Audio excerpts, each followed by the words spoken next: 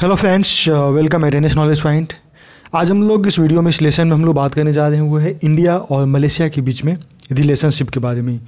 ये आपका B P S C G S paper one का जो करंट अफेयर सेक्शन है, उसमें ये जो इंटरनेशनल रिलेशन है, उसमें इंडिया मलेशिया एक टॉपिक इंपॉर्टेंट हो सकता है। तो इंडिया मलेशिया रिलेशन में हम लोग देखेंगे कि सबसे पहले तो मलेशिया को समझेंगे मलेशिया का भी लोकेशन है कहाँ पे। उसका इंडिया के साथ किस प्रकार का हिस्टोरिकल बैकग्राउंड रहा है? किन किन मुद्दों पे इंडिया और मलेशिया के बीच में डिस्प्यूट रहा है? और कहाँ कहाँ पे इंडिया और मलेशिया के बीच में सहयोग रहा है? उसके बाद में हम लोग इसको वे फॉरवर्ड हम लोग देखेंगे। तो हम लोग अगर अभी की बात करें तो अभी जो है मोहिउद्दीन यासिन, इसके नेतृत्व वाली अभी सरकार जो है अपना कार्यभार ग्रहण किया है। उसके बाद में देखा जा रहा है कि इंडिया और मलेशिया के बीच में कैसा रिलेशनशिप होगा। इंडिया, मलेशिया का आप लोकेशन इसको देख लीजिए। तो ये एशियन कंट्री है। साउथ ईस्ट एशिया में ये मतलब लोकेटेड है बिलोंग करता है। ये इंडोनेशिया और थाईलैंड के लगभग थोड़ा सा ऊपर पड़ता है। कैपिटल इसका कोलालमपुर है। ये इक्वेटर के नॉर्थ में है। यहाँ का जो ऑफिशियल रिलीजन है, जो ऑफिशियल धर्म है, वो है इस्लाम ठीक है? इसके कुछ हिस्टोरिकल बैकग्राउंड में हम लोग जाते हैं। हिस्टोरिकल बैकग्राउंड में हम लोग देखेंगे कि उन्नीस सौ बासठ में जब इंडिया और चाइना के बीच में वाद हुआ था उस समय इंडिया को ओपनली सपोर्ट किया था मलेशिया ने। मलेशिया इसमें पूरी तरह से सपोर्ट किया था और इस वजह से इंडिया और मलेशिया के बीच में एक नया एक रिलेशन डेवलप हुआ था। ठीक है? और ये मलेशिया अकेला ऐसा दक्षिण पूर्वी देश था जिसने खुल के भारत को साथ दिया था। उन्नीस सौ पैंसठ में देखें तो इंडिया, इंडोनेशिया और मलेशिया के बीच में डिस्प्यूट हुआ। उन्नीस सौ पैंसठ में इंडोनेशिया और मलेशिया के बीच में डिस्प्यूट हुआ, जिसमें कि इंडिया जो है सपोर्ट किया, पूरी तरह से मलेशिया मलेशिया को सपोर्ट किया। हालाँकि इसकी वजह से इंडिया और इंडोनेशिया के बीच में रिलेशन थोड़े से ख़राब हुए थे, लेकिन इंडिया यहाँ पे मलेशिया को सपोर्ट किया था 1965 में। कोल्ड वार के जब समय आया तो कोल्ड वार में दोनों जो है गुट निपेक्ष नीति को फॉलो किया और दोनों जो है किसी भी गुट में शामिल होने के बजाय सब अपने आप को अलग रखा। तो ये गुट निपेक्ष को फॉलो किया दोनों देश। 1992 में, उन्नीस सौ बानवे में देखा जाए तो भारत सरकार के द्वारा लुकिस्ट पॉलिसी लाया गया, लुकिस्ट नीति लाया गया। और ये जो है इस्ट जो हमारा, खासकर देखा जाए तो साउथ ईस्ट एशियन जो कंट्रीज़ है, उसके साथ हमारा रिलेशनशिप डेवलप करने के लिए एक नया आयाम खुला था। इसमें बताया जा रहा था कि अब जो जो साउथ ईस्ट के जो नेशंस हैं उनके साथ भी अच्छे रिलेशन डेवलप करने का समय आ गया। तो 1992 में लुक ईस्ट पॉलिसी को, इसको शुरुआत किया गया था। फिर 2014 में देखा जाए तो 2014 में इसी लुक ईस्ट पॉलिसी को नेक्स्ट लेवल में ले जाया गया और जो डिप्लोमेटिक रिलेशन था इंडिया मलेशिया के बीच में या फिर इंडिया जो ईस्टर्न कंट्रीज़ के बीच में तो उसको एक्ट ईस्ट पॉलिसी का नाम दिया गया दो हज़ार चौदह में। और मलेशिया जो है इसका केंद्र बिंदु के रूप में था।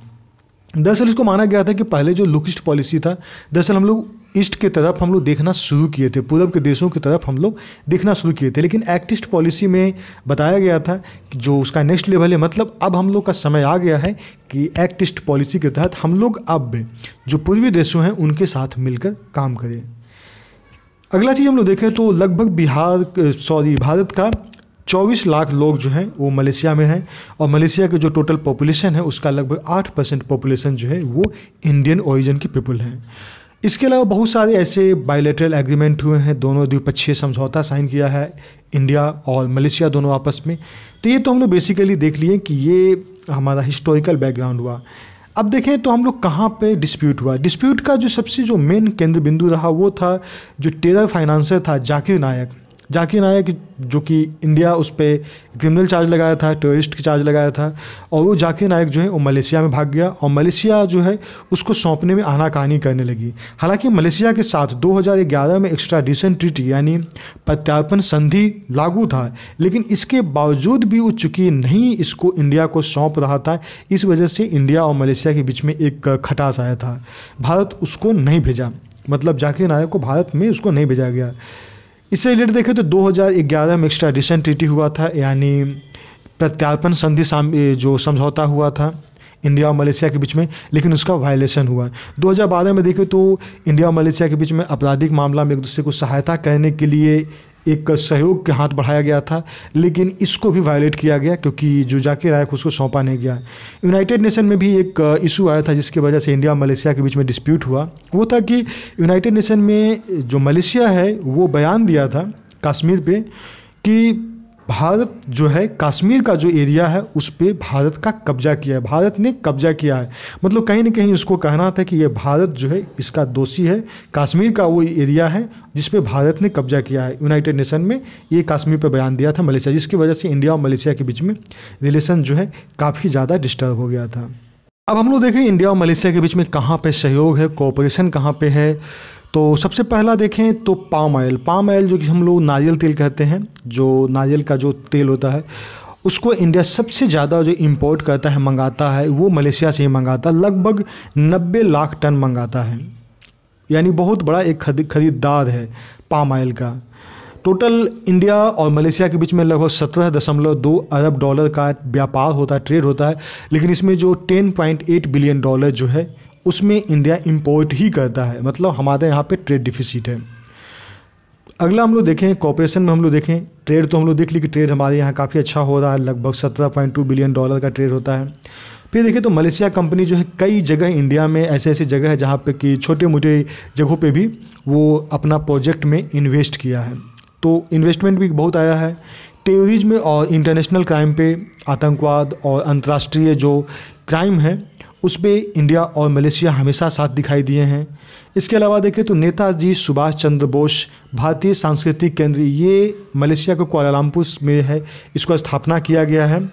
और नेताजी सुभाष चंद्र बोस, भारतीय सांस्कृतिक केंद्र, भारत और मलेशिया के बीच सांस्कृतिक कार्यक्रम हो गया, सांस्कृतिक संगोष्ठी हो गया, कार्यशाला, ये सबको आयोजन करना, चाहे भारतीय जो शास्त्रीय संगीत है, भारतीय नृत्य है, जैसे कि कथक हो गया, या फिर और भी जो इंडियन कल्चर का जो डांस होता है, वो सबको वहाँ पर प्रशिक्षण दिया जाता है और द्विपक्षीय संबंधों में, खासकर सांस्कृतिक संबंधों को बढ़ावा देने के लिए ये एक सेंटर बनाया गया नेताजी सुभाष चंद्र बोस, भारतीय सांस्कृतिक केंद्र कुआलालंपुर इसके अलावा देखें तो कल्चरल एक्सचेंज किया जा रहा है, सांस्कृतिक आदान प्रदान की बात किया जा रहा है। यहाँ पे नॉलेज आदान प्रदान होती है इंडिया और मलेशिया के बीच में।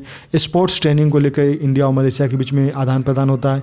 रिन्यूएबल सोर्स ऑफ़ एनर्जी जो रिन्यूएबल सोर्स ऑफ़ एनर्जी को टिकाऊ ऊर्जा भी कर सकते हैं तो इसमें भी इंडिया और मलेशिया देखते हैं कि बहुत सारे जो विचार हो, मिलते हैं। इंडिया बहुत ज़्यादा मलेशिया, इंडिया के लिए मलेशिया बहुत ज़्यादा इंपॉर्टेंट इसलिए भी हो जाता है क्योंकि मलेशिया जो है, आसियान देशों का एक बहुत ही प्रोमिनेंट मेंबर के रूप में जाना जाता है। तो इंडिया और मलेशिया के बीच में अगर ये सहयोग बना रहता है तो इंडिया का एक बहुत बड़ा ट्रेडिंग पार्टनर मिल जाएगा आसियान। क्योंकि आसियान के, आसियान में जो है, मलेशिया के थ्रू एक अच्छा रिलेशन डेवलप किया जा सकता है। उसके अलावा देखा है तो जिस तरह से मलेशिया का लोकेशन है तो इंडियन ओशन और पैसिफिक रोज पैसिफिक ओशन यानी जो हिंद महासागर और प्रशांत महासागर को कनेक्ट करने में भी सहयोग कर सकता है। तो ये सारी चीज़ हम लोग जो देखें, वो कॉपरेशन है, सहयोग है भारत और मलेशिया के बीच में। अब है कि ऐसे में इसका वे फॉरवर्ड हम लोग देखें। तो वे फॉरवर्ड में सबसे पहला पॉइंट यही हमारे सामने आता है कि अभी हम लोग जैसे कि देखें, लगभग चौबीस मिल, चौबीस लाख लोग जो है इंडियन ओरिजिन के वो मलेशिया में हैं, जो कि वहाँ का पॉपुलेशन का आठ परसेंट तो आठ परसेंट पॉपुलेशन इंडियन ओरिजिन है तो एक हमारा बहुत बड़ा पॉपुलेशन वहाँ पर रहता है। तो ये हमारा फॉरन डिप्लोमेटिक रिलेशन को डेवलप करने के लिए या फिर उसको और भी मजबूती देने के लिए ये बहुत ज़्यादा बहुत इंपॉर्टेंट रोल प्ले करता है, क्योंकि हमारा बहुत बड़ा पॉपुलेशन एक जो है मलेशिया में रहता है। उसके अलावा मलक्का स्टेट के लिए बहुत ही जो मलक्का जल डमरू है, उसमें भी मलेशिया का बहुत बड़ा भूमिका हो जाती है। साउथ चाइना सी में मलेशिया की भूमिका हो जाती है तो इस वजह से इंडिया और मलेशिया के बीच में संबंधों को और भी इसको अच्छा बेहतर बनाने की कोशिश करना चाहिए। दोनों को धैर्य रखना चाहिए कि अगर कुछ भी बात होती है तो उस पर पैसेंस रखना होगा और जो गुड रिलेशनशिप है, उसको डेवलप करने पर विचार करना चाहिए। तो हम लोग टोटल इसमें इंडिया और मलेशिया के बारे में हम लोग डिफिनीसन किए इसमें हम लोग बेसिक चीज़ों को देखें। तो क्वेश्चन जो है, आपको इंडिया मलेशिया रिलेशनशिप पे पूछ सकता है, कुछ करेंट एस्पेक्ट्स को लेकर ही पूछ सकता है।